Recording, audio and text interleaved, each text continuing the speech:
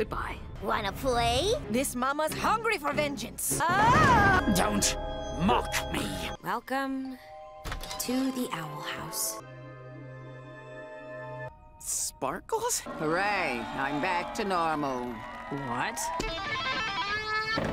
New Hexside! It's so nice to see teachers getting the respect they deserve. I think. Oh my Titan. Pizza! Bagels! I'm gonna assume those are clean. No, not you. Please come back. Huh? Eh? The magic of friendship? Huh?